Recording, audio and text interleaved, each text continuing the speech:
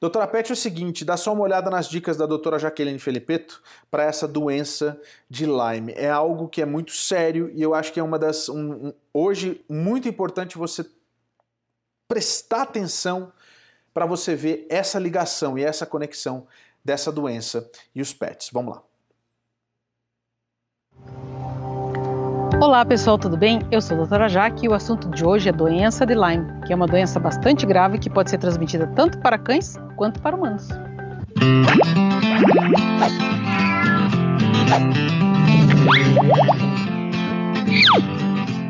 Recentemente, o cantor Justin Bieber veio a público dizer que tem a doença de Lyme. Mas o que é essa doença? É isso que eu vou explicar para vocês agora.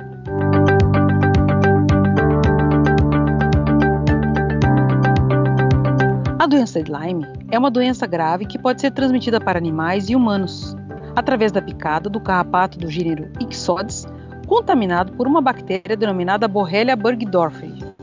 Os principais sintomas desta doença em cães são dores e inflamações nas articulações, o animalzinho fica muito tempo deitado, apresenta febre, inchaço nos gânglios linfáticos, falta de apetite. É importante lembrar que a doença pode aparecer após dois meses da picada do carrapato contaminado. Com o passar do tempo, os sintomas vão se agravando. O diagnóstico e tratamento é feito através de exame de sangue para detectar a presença desta bactéria. A prevenção é você aplicar produtos carrapaticidas sempre no seu animalzinho de estimação. É importante lembrar que a contaminação pode ser feita em qualquer passeio na rua ou até mesmo nos parques. Então fique atento, mantenha a saúde do seu bichinho e leve sempre ao médico veterinário. Existem diversos produtos no mercado pet e excelentes que podem proteger seu animalzinho com a maior segurança. Em caso de dúvida, sempre consulte o um médico veterinário. Agora, os sintomas da doença de Lyme em humanos: cansaço, febre, dores na cabeça, rigidez no pescoço, dores musculares, articulações doloridas e inchadas, e isso pode se prolongar por semanas podendo até levar uma arritmia cardíaca e a miocardite. Até paralisia, a picada do carrapato em humanos pode causar. Por isso, todo cuidado é pouco. A prevenção em humanos é que, quando for fazer caminhadas ou até escaladas, passar sempre um repelente. Uma das características da picada deste carrapato é a formação deste halo. Isso pode variar também. Ele parece um alvo.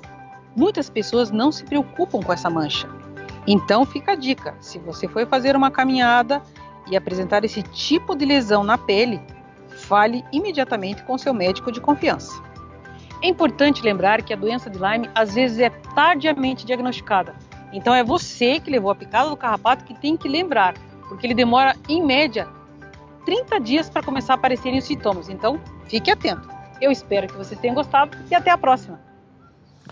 Obrigado, doutora Jaqueline Felipeto. Aliás, só para lembrar, tem uma informação que eu acho que vale a pena a gente falar aqui para você a respeito dessa história da doença de Lyme. Gostei que ela começou, inclusive, com uma é, informação que né, é importante, porque falar sobre a doença e ainda ter essa situação é, é, espelhada nas celebridades é mais importante ainda, tá? Ela diz o seguinte, ó.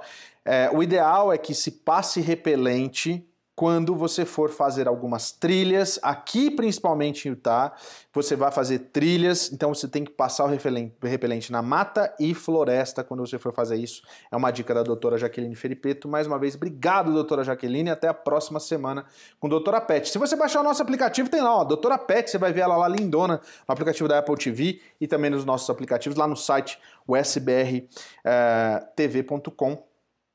para você poder ver tudo lá é, online e ao vivo.